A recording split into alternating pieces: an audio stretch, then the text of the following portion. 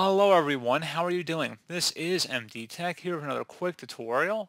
In today's tutorial, I'm going to show you guys how to go about resolving if you're having an installation failed with error code 0x800B0101 in the Microsoft Store on either your Windows 10 or Windows 11 computer. So I imagine this can definitely be a frustrating issue. And in today's tutorial, I'm going to show you guys how to hopefully resolve it without too much of a hassle. And without further ado, let's go ahead and jump right into it. So all you have to do is right click on your date and time settings down in your taskbar and select adjust date and time. If the date and time settings are not correct up here, make sure you have set time automatically selected and toggle to the on position.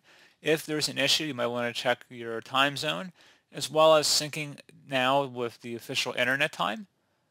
Make sure you're also connected to the internet. Try going on a web browser if you're not actively using a desktop computer in order to access this video, which a lot of you guys actually use mobile devices to watch YouTube videos. So make sure your desktop is connected to the internet or laptop or tablet, wherever Windows is installed on that you're having the problem with. And go ahead and actually sync up your time settings just to make sure everything's working properly. If you are still having a problem after you let this finish syncing, I would recommend just going ahead and resetting your Microsoft Store. So open up the search menu, type in WS Reset, Best match come back with WS Reset. Go ahead and open that up and give it a moment. And then hopefully it should relaunch your Microsoft Store and you should be able to proceed with the installation of the app that you were having the problem with.